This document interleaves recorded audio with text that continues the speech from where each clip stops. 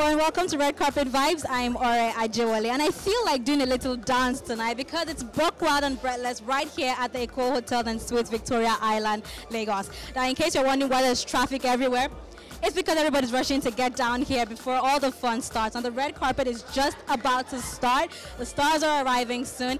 And maybe I will still get to do my dance later. Maybe I'll let you guys see when I do that. I'm Maria Joole. Thank you for watching Red Carpet Vibes.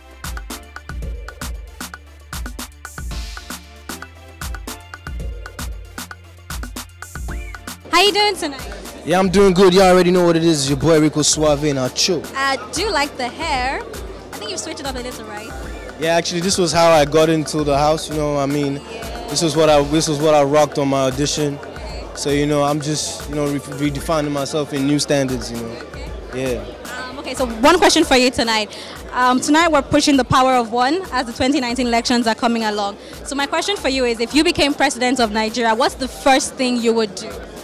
Oh, first thing I would do if I was president, um, I think I'll, you know, I'll, I'll probably try and, you know, clean up the, the, the streets. Yeah, you know, and um, you know, fix up NEPA. You know, that's that one a serious kiss. No be play play matter. oh. I go do light first.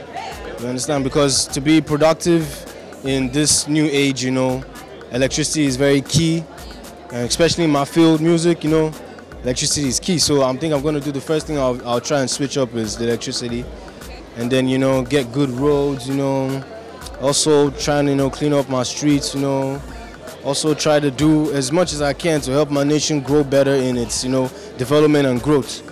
Yeah, so I think a whole lot of a whole lot of cleaning up needs to be done. How you doing? I'm doing great. I am excited to be here. When you're wearing something nice and your hair is done and your makeup, does it make you feel more confident? It does. It does. I, I have a motto that if you look good, you feel good. And if you feel good, you do good. So, yes, yes, absolutely. The thing I would do is put the money back into the land. Number one, we need lights. There's no way that we should be paying light bill but not receiving light. That doesn't make any sense. But but to put the money back in the land, there's no way the road should be how it is. There's no way that we shouldn't be getting light. It's just simple things. If you make it better for the people that live here, then we will do better. And in the long term, we will all do better as a whole. So yes, the first thing is just put the money back into land. See where there needs to be help and assist where there needs to be. Yes. If you became president of Nigeria, what's the first thing that you would do? Power, power, power, steady power. Yeah, yeah, yeah. If you promise me lights and security, don't worry about the rest. Don't worry about any other. Things. Nigerians will get to themselves. That's the truth. In the few times I've traveled out, um, I've noticed power is, has been constant, and that's what accelerates growth in the economy. So I don't know, man. I'm, I'm tired of this lack of power, and it's embarrassing for a country like Nigeria not to have stuff. Thank you. You look really pretty and your voice is just as nice. Oh, thank you so much. I made someone blush. I'm feeling myself. Oh, well, Um, you should. Um, okay. right now, I know there are so many things in Nigeria, so I really don't know what to say first. But then I think that um, I'll try to tackle the, um, you know, the Fulani herdsman thing happening in the north because children, innocent children, and then I can't bear to see the blood of innocent children, um, you know, spilled on the floor and all. So it really makes me sad each time I watch news on that um, issue. I will change corruption number one. You change corruption. Yes. What I mean, I'll change corruption because the first person who came was actually talking about corruption, and we still it still remain the same. And I want our corruption to come back. So what I want to do, if I become the president, I'll give you light, road. Forget about another thing, because God said, "Let them be light." There's no light. Power holding is holding our power. There's nothing happening. Failure, disappointment. How will the poor survive? I don't know of myself. I, I will not say that I'm poor, I'm rich, I'm an intermediate. You understand? But please, the government should please turn out to become the future leaders. Are you getting it? But what they are doing, they are not helping the future generation. I, I pray to God with the things, the way things are going, we should not end up revolution. That's what we're praying. Do you think that can work in Nigeria, a revolution? I beg your pardon? Do you think a revolution can actually work in Nigeria? It will definitely work.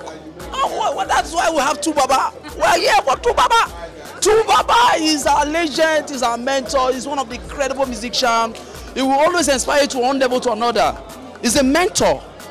You understand? One power, one body, one Nigeria, one Africa. He's the Africa best. We love him so much.